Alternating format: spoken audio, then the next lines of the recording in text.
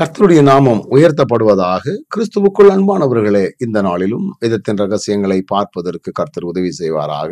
லூக்கா எழுதின சுவிசேஷம் இருபத்தி இரண்டாவது அதிகாரம் முப்பத்தி ஓராம் வசனம் இப்படி சொல்லுகிறது. பின்னும் கர்த்தர் சீமோனே சீமோனே இதோ கோதுமையை சுலகினால் புடைக்கிறது போல சாத்தான் உங்களை புடைக்கிறதற்கு உத்தரவு கேட்டுக்கொண்டான்.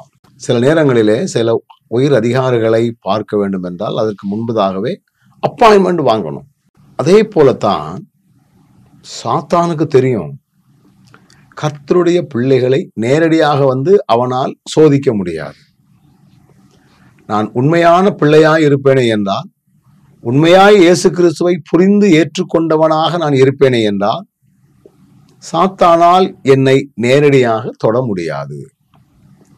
அப்ப என்னை அவன் தொட வேண்டும் என்றால் எனக்கு எதிரான சில காரியங்களை அவன் செய்ய வேண்டும் என்றால் ஆண்டவரிடத்திலே அவன் பெர்மிஷன் கேட்கணும். மனு போட்டு காத்து கிடக்கணும். ஆண்டவர் சில நேரங்களில் அதுக்கு உத்தரவு கொடுப்பார் என்று வசனம் சொல்லுகிறது. அவர் உத்தரவு கொடுத்தாலும் வசனம் சொல்லுகிறது நம்முடைய விசுவாசம் ஒளிந்து போகாதபடி நமக்காக அவர் வேண்டிக் கொள்ளவும் செய்கிறார். அப்போ சாத்தானால் வரக்கூடிய சோதனைகள் என்பதை நாம் தெரிந்திருந்தால் ஆண்டவர் ஏதோ ஒன்றிற்காக அனுமதித்திருக்கிறார் என்பதை நாம் புரிந்து கொண்டு அந்த விசுவாச வாழ்விலே உறுதியாக நிலைத்திருப்பதற்கு தேவையான கிருபைகளை நாம் பெற்றுக்கொள்ள வேண்டியது நமக்கு அவசியம். ஏன் அவர் அப்படி உத்தரவு கொடுக்கணும்? ஏன் கொடுக்கணும்? அப்படி கேட்க முடியாது. ஆண்டவர் நம்மே வைத்திருக்கிற எண்ணங்கள் பெரியது. நம்மை வை குறித்து வைத்திருக்கிற சிந்தைகள் அவருக்கு பெரியது. எனவேதான் அவர் அனுமதி கொடுக்கிறார்.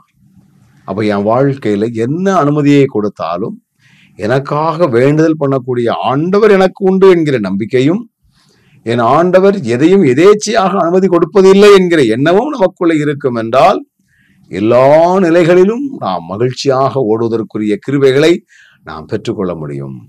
அப்படிப்பட்ட பாக்கியத்தை நாம் பெற்றுக்கொள்ள கர்த்தர் நமக்கு உதவி செய்வாராக. கண்களை மூடுவோமா? நல்ல ஆண்டவரே.